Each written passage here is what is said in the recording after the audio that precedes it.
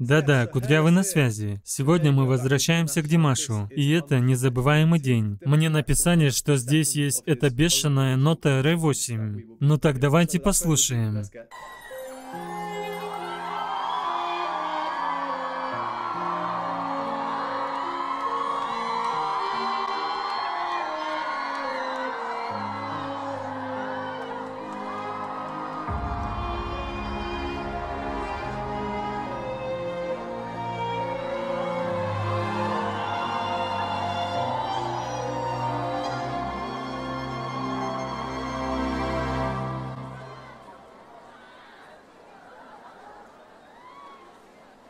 Бір көргеннен ғашық болдым өзіңе. Еркелеген балдай тәтті сөзіңе. Қылығыңмен баурап алдың жанымды.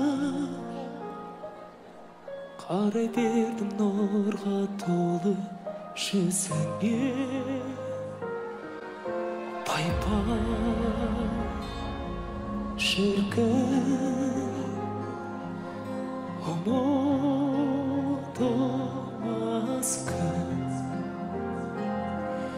пайда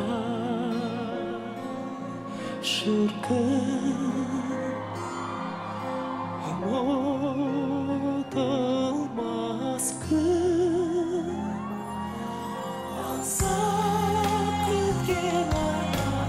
Итак, давайте сделаем паузу и поговорим об этом. Начнем с самого начала.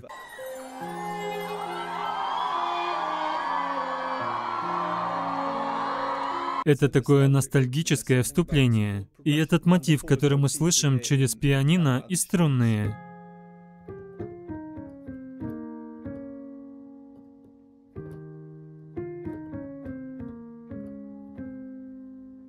Это выбор Димаша. Я думаю, это легко запоминающаяся и цепляющая последовательность. Это называется квинтовый круг. Он показывает, что будет через каждые пять нот.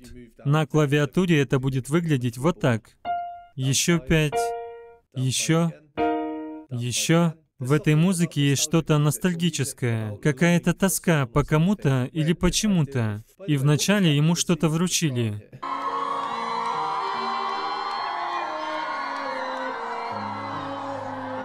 Это что, были цветы? Итак, мы слышали эту нисходящую последовательность нот, а сейчас это идет вверх.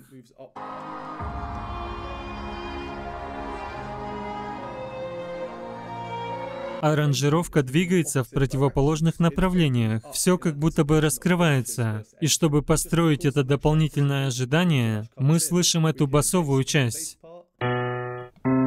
с этой хроматической интонацией и тремоло на скрипке.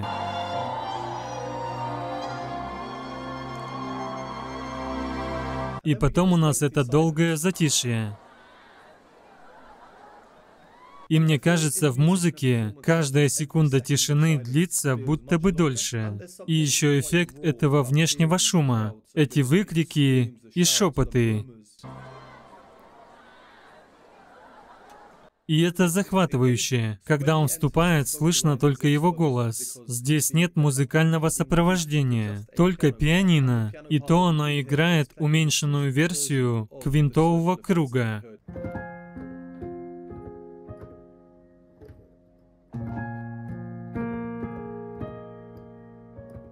бір көргеннен ғашық болдым өзіңе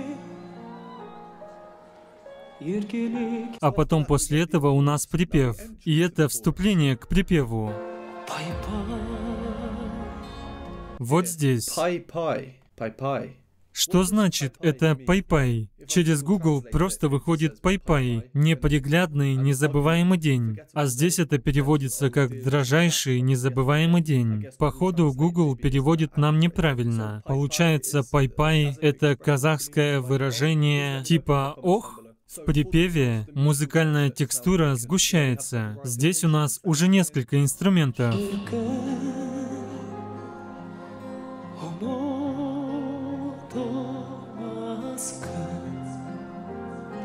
Там даже немного слышен хор на заднем фоне.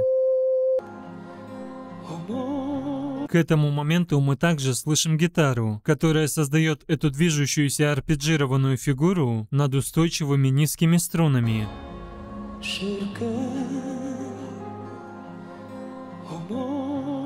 Это как контраст между постоянно двигающейся вперед жизнью и статикой, воспоминаниями, застрявшими в прошлом. И на этой арпеджированной фигуре мы слышим пианино и гитару.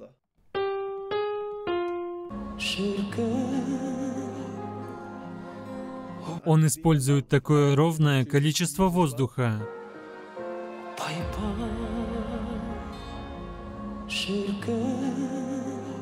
Здесь столько воздуха. И мне нравится, когда воздуха много, потому что это звучит более эмоционально.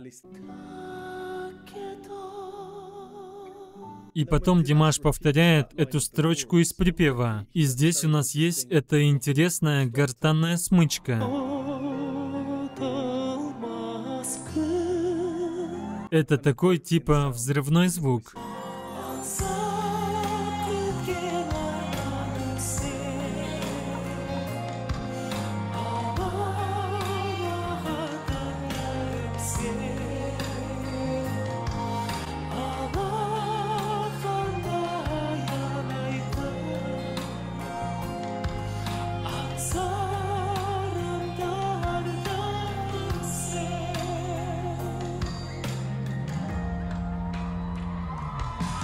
Жүрекке ешкім жүргізе алмас әмірін сөндіре алмас сезімімнің жалынын бақыттымын бұл әлемде сен тағдырыма тарту етсе тәңірім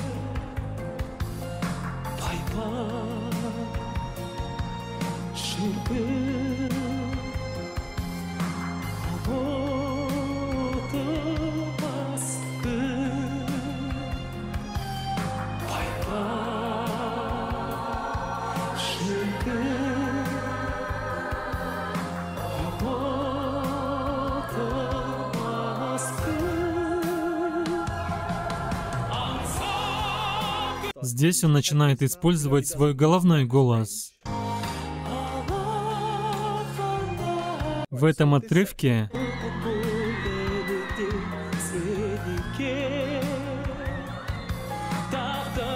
это вот здесь. Я буду самым счастливым в мире, если судьба приведет тебя ко мне. И это очень подходящий момент, чтобы держать за руки своих фанатов. Такое не каждый день увидишь. Ведь эта позиция точно не для пения. У него же диафрагма отрицательно раскрыта. Зато он сделал этих людей счастливыми.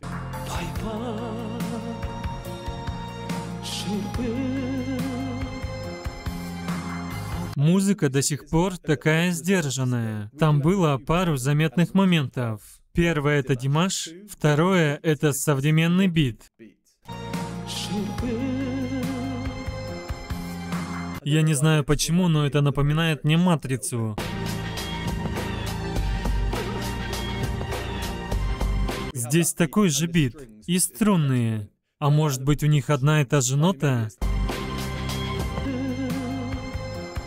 Я заметил, что там на экране слова песни. Это для того, чтобы аудитория могла петь вместе с ним. И здесь еще этот замечательный хоровой эффект.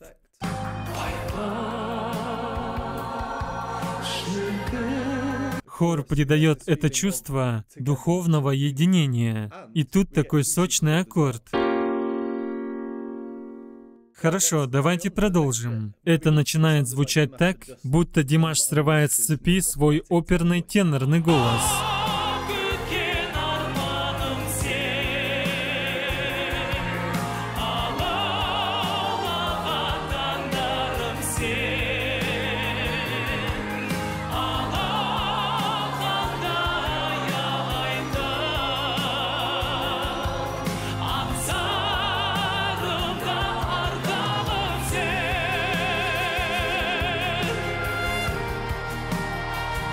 А это труба.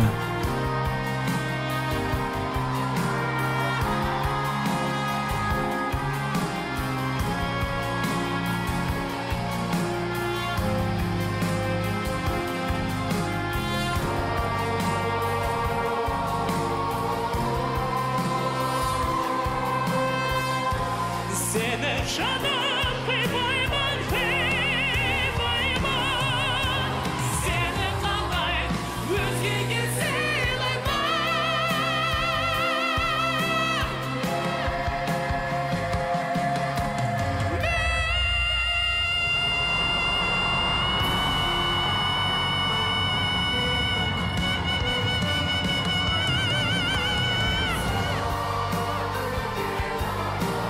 Я в ожидании этой скандально известной ноты Р8. Ее еще не было, но я думаю, она близко. Меня порадовало, что он опять подошел к фанатам. У каждого из этих людей будет свое уникальное видео с Димашем. Сейчас он использует свой мощный грудной голос. Здесь он поет не особо высоко. Вот пока самая высокая нота. Он вообще в целом пока ведет себя очень сдержанно. И я не удивлюсь, если он сейчас как жахнет этой треклятой нотой. И здесь была еще эта труба.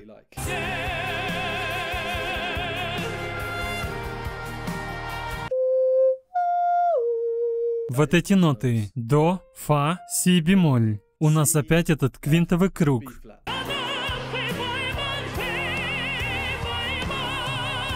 Здесь была эта высокая нота до, которую я называю супер теноровый момент.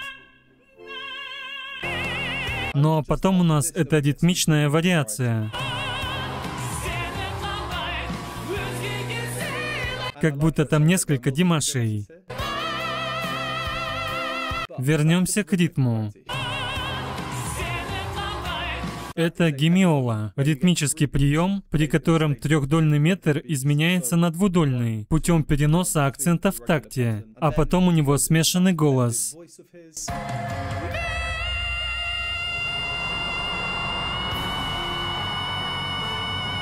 Это по большей части его головной голос, но он смешан немного с грудным голосом. Отсюда здесь это дополнительная мощь. Если взять простого смертного, например, меня, и я спою это так же, у меня получится полный грудной голос. И вот этот его классный эффект после. Ну что ж, давайте дослушаем его до конца. Я жду не дождусь эту его ноту.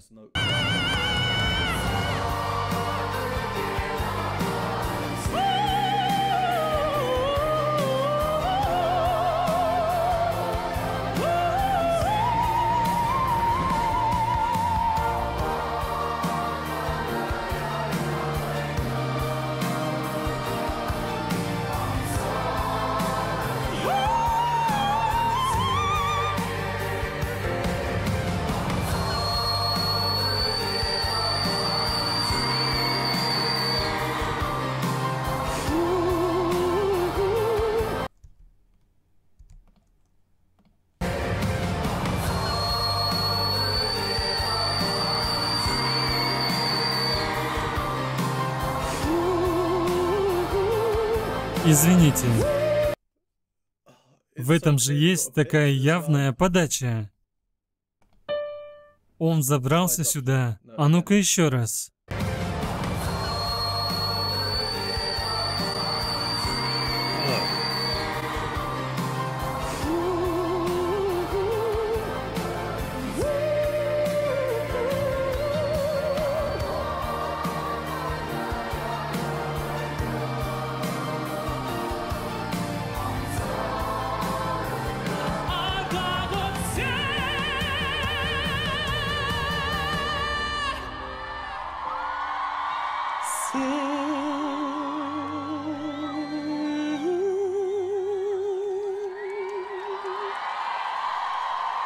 Үлкен рахмет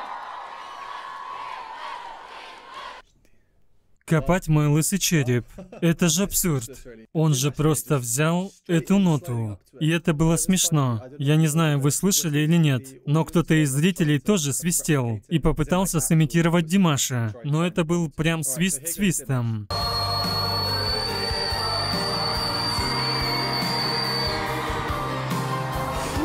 А потом через пару секунд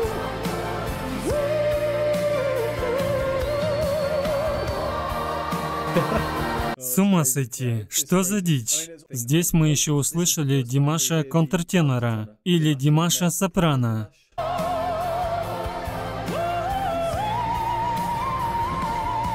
Это был такой чистейший головной голос, без всяких смесей. Я бы даже сказал ангельский. Он любит делать такие вокализации на этом звуке, как мы слышали в Аве Марии.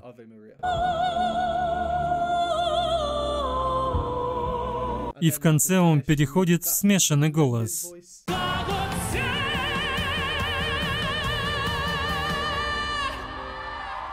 Вы слышали, как он переходит в смешанный голос с грудного голоса?